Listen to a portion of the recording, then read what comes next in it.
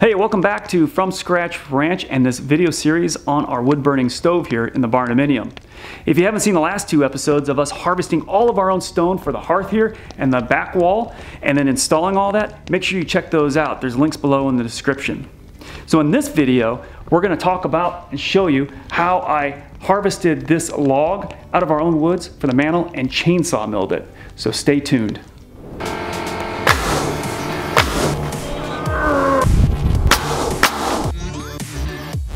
But I think I found a tree that we're gonna use for our mantle. Came down not too long ago, and it's right here through the woods. So I got quite a few of these came down in a storm or something. Got the winch on the side-by-side -side there to hopefully pull this tree out once I get it cut and freed up from here. Cut all these branches off. Put some straps around it and hopefully pull it out of the woods.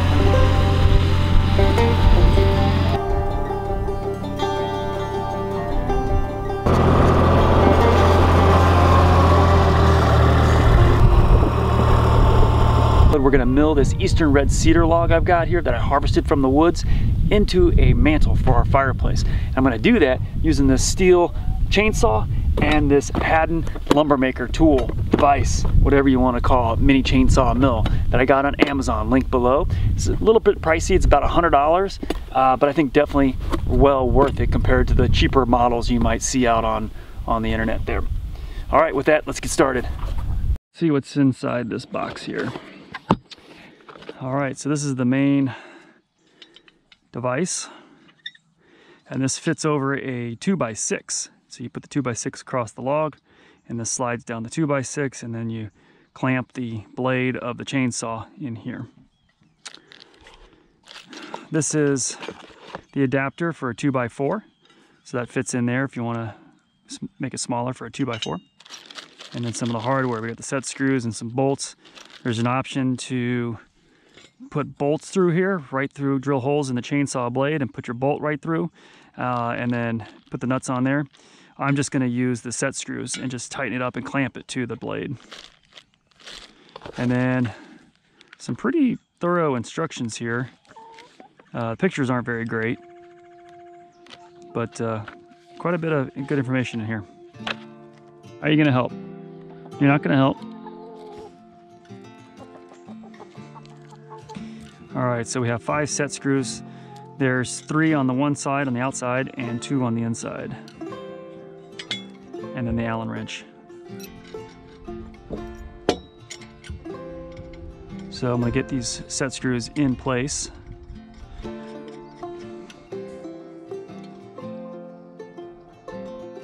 All right, well, even though it came with two extra set screws, they're not for the back. I was mistaken. These are just for the pass-through bolts if you drill holes through the bar of your chainsaw. There's no threads in this side. So these just must be extra in case you lose them.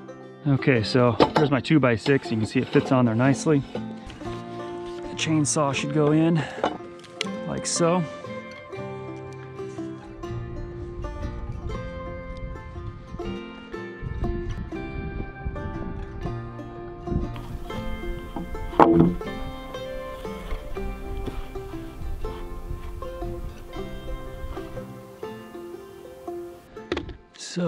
See. So I'm gonna be cutting just that edge off there. Like so. If I look back, I think I got that about right where I want it. So I'm gonna screw this in.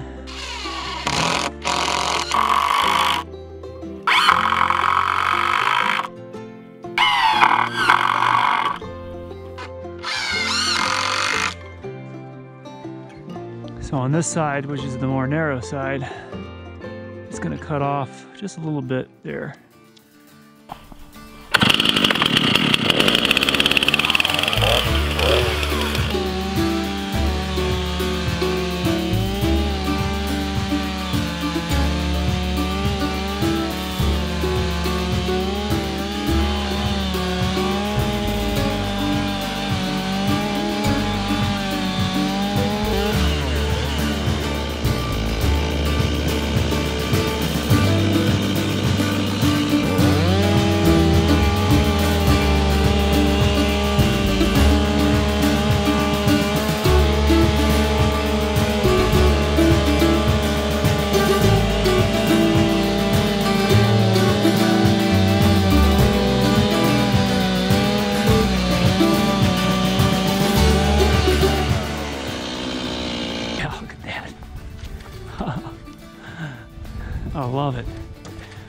That's awesome.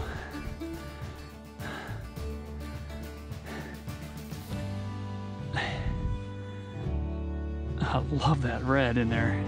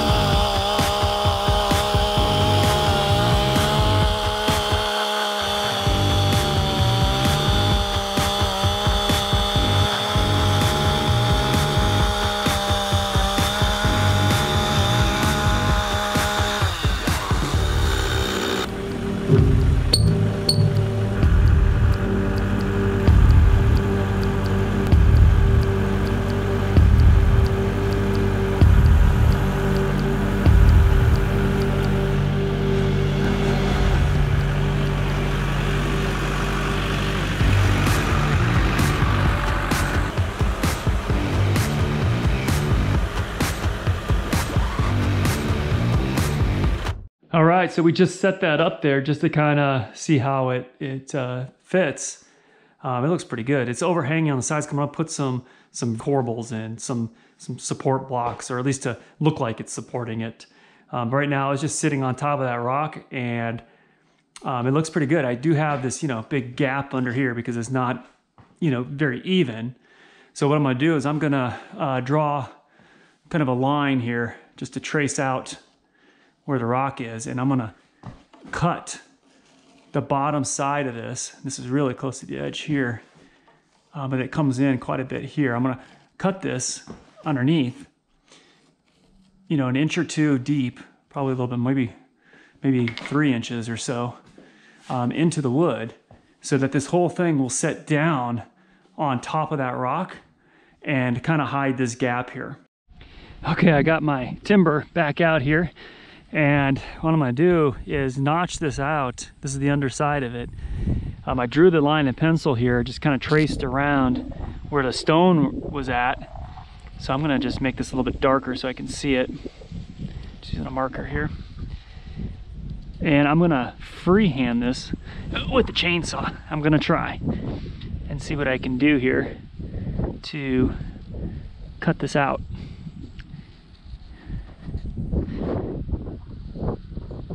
Never done anything like this before, first time. I could be completely thinking about this wrong, but what I really want to do is just take a chunk of this wood out right here in the middle on that side of the black line.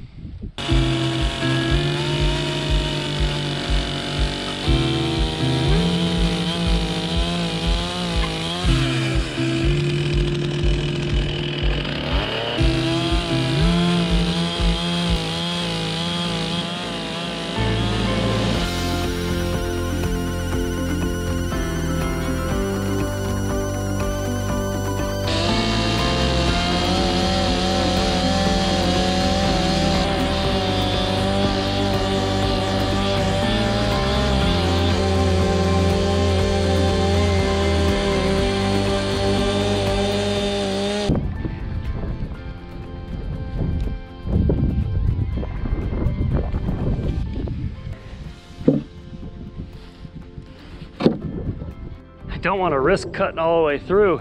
It's hard to tell. So I'm gonna see if I can just pop this off, whatever's yeah, it seems like it's close. Yeah. Okay, so I just need to get a little bit deeper here.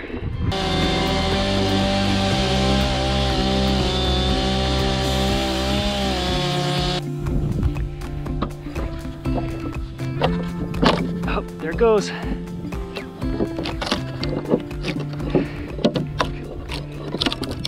Wow.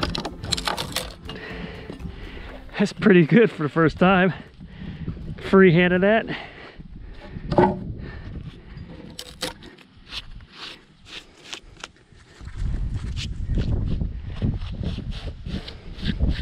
Nice little pocket for the stone to fit in.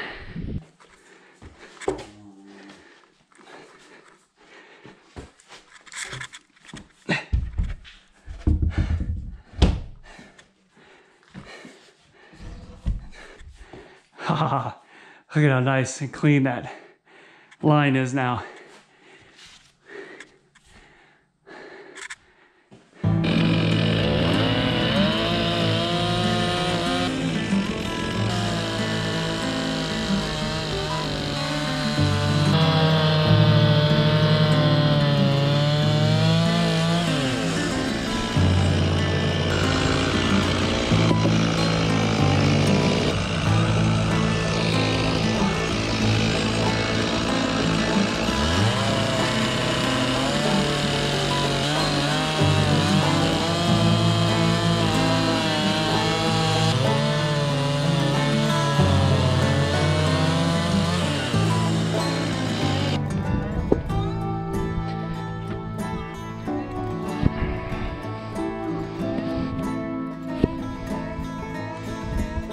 Okay, so I think what I'm gonna do here with these is mount these to the wall like so. So that, now I'll probably trim it down so it's not sticking out so far, but mount these to the wall like this. And what I'll do is behind here is the, the shop. So I can get access to the back there and I'll build a support structure to lag bolt it in from the back side.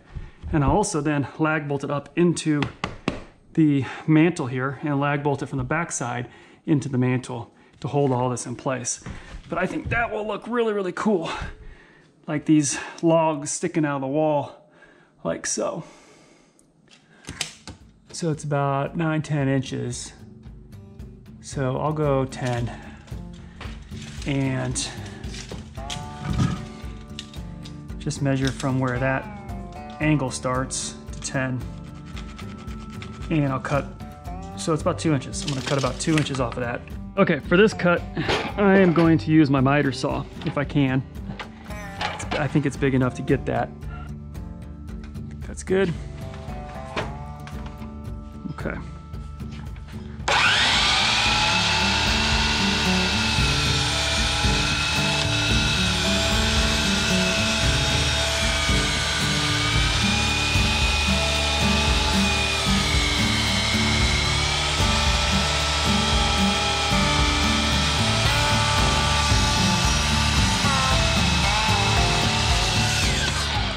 I got about halfway through it.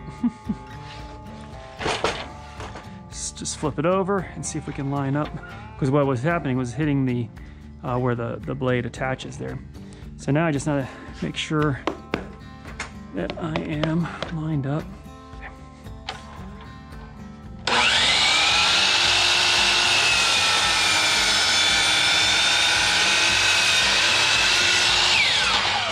All right, well, that was super close. Okay, here's a shorter version of that. Yeah, I think that's, I do want it to stick out somewhat so it shows. And I think that'll do it. Gives us a nice ledge to set stuff on too. I'll just put them side by side. And draw my line about the same. All right, so now I need to debark all of this. All this bark I gotta remove. So I'm just using a, just a cheap old pocket knife, an old one I had, just to kind of get under the bark and then just peel it back. That's it, just easy as that.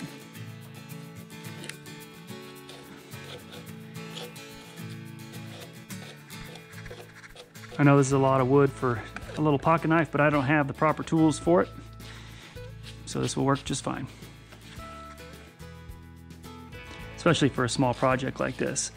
If I'm gonna be doing a lot more of this, then I will definitely buy the proper tools. But you can see this bark is coming off really easy.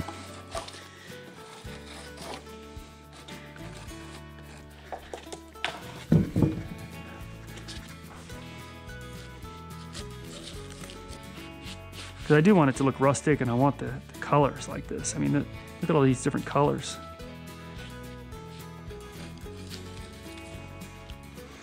Now I've got where I use the chainsaw to cut these branches off. And instead, instead of having this rough cut from the chainsaw, I'm gonna just kind of whittle this just a little bit to give it a, just a better kind of look than a choppy chainsaw, uneven kind of finish to it. Look at all this bark we whittled off. Smells good, that's yeah, I love the smell of cedar. All right, what do you think? How was that experience? I you like it. whittling? Yes, I love it.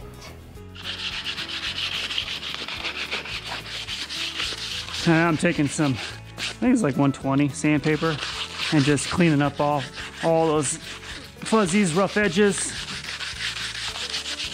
Not necessarily making it smooth, but just kind of cleaning it up.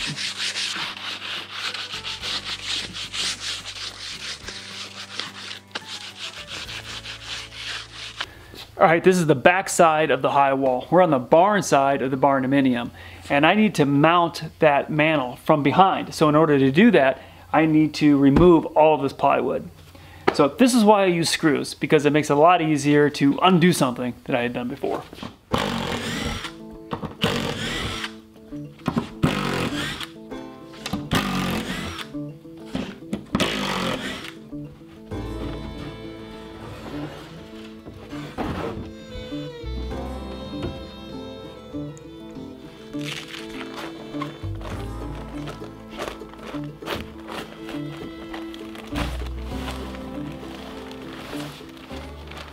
Backside of the wall here where I'm gonna mount the mantle. So I'm gonna go on the inside of the barndominium and poke a hole through here exactly where I need to put that lag screw. So I know exactly where to mount it on this side. So let's go do that. Right there. And. Perfect. So now I know exactly where I need to put that 2x12 here on the back side and here. I got this 2x12 that I'm gonna use. It was left over from a different project. It's 12 feet long, so I'm gonna cut it in half at six feet. And I'm gonna use this to support the mantle um, from behind.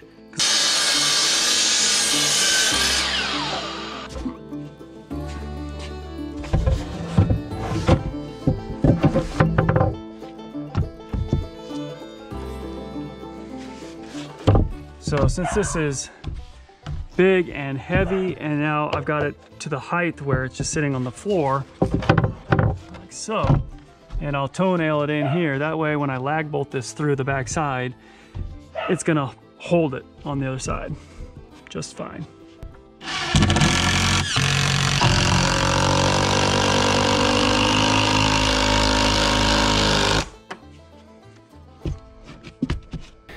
All right, these are the lag bolts that I'm gonna use here. They're pretty big. So I'm gonna use a drill bit, right size for that lag bolt, and go on the other side of the wall and drill the hole through this way so I know exactly where tighten this lag bolt into that and pull it tight to the wall. I'm gonna drill the hole through on the mantle side here on the left side.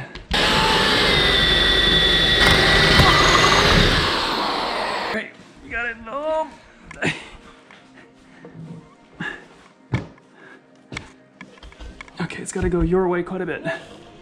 Okay. Good? Yeah. All right. Okay, so now I just need to level it and, you know, use some shims and get it up like that. So now that I've got the mantle placed on the other side of the wall here, I'm gonna try to drill a hole through the back side of the mantle there without it pushing off.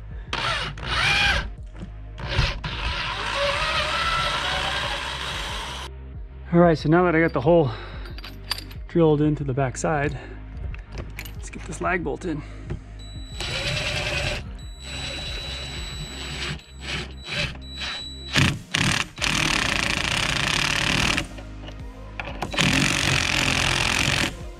Oh no. Shoot.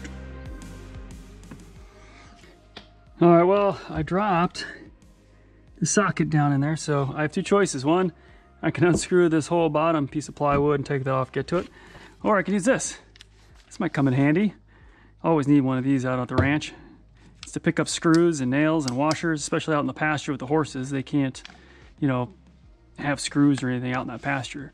Let's see if this magnet's strong enough to pick that up.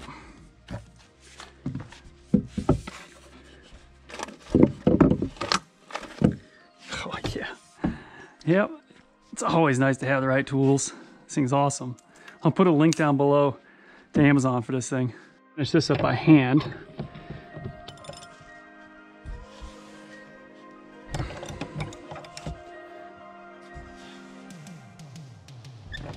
Okay, I've got my two supports here. What I'm gonna do is drill a hole all the way through it. Uh, for the lag bolt, I'm gonna put through the bottom of this and up through the mantle. Now that I've got the hole drilled all the way through, I'm gonna put on a one inch spade bit here to drill about halfway through or so to give me that pocket to put this bolt head and washer all the way through.